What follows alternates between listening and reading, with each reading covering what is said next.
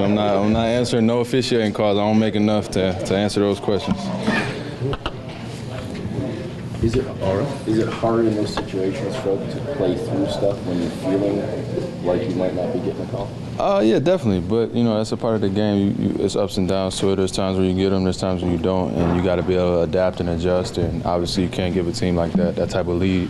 But you know, coming down the stretch, obviously, you'd like some of those to go your way. But it is what it is. In the, in the mix of the game, you don't really have time to, to dwell on it. But you know, you come to the locker room after and you start adding them up.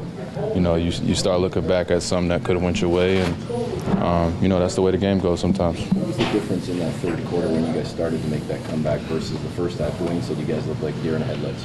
Yeah, I think we just tightened up a little bit. You know, they're, they're, such a dangerous team that sometimes you can overreact to what they do, and, and I thought we gave up a lot of easy shots and layups and just were a little soft on the defensive end. And we kind of tightened the screws up a little bit in the second half. We're able to, you know, um, I think whatever they were shooting 70 some percent in the first half, and um, you can't beat anybody playing like that. So tighten that up, and we're able to. That helps your offense a little bit as well, and you know how that goes. The bench has been so good this year, and you know the first stint was for you guys tonight was probably one of the worst stints you guys have had. How important was it to be, you know, not only come back, be such a big part of that comeback? Oh uh, yeah, it's big. You know, obviously nobody likes to play bad. We're all prideful guys, and uh, you know we got in got in there at a weird point of the game where they were just scoring on all cylinders, and we weren't really didn't really have an answer for that. So, um, like I said, I was able to tighten it up in the second half. It's a long game. We understand that, and we got you know some tough guys, and, and we just try to bounce back and and make it respectable and, and had a chance there at the end.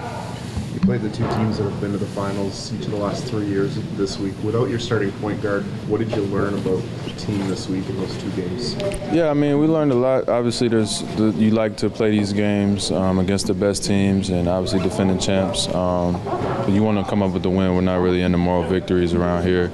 Um, so you got to look and see what you could have done better. Um, but you, you got to respect the fight, you know, in the second half, the way we brought it and the way we played against Cleveland, obviously, um, our, we could take some of the things that we did and, and carry those over, and that's what we got to do and eliminate, you know, a lot of the mistakes.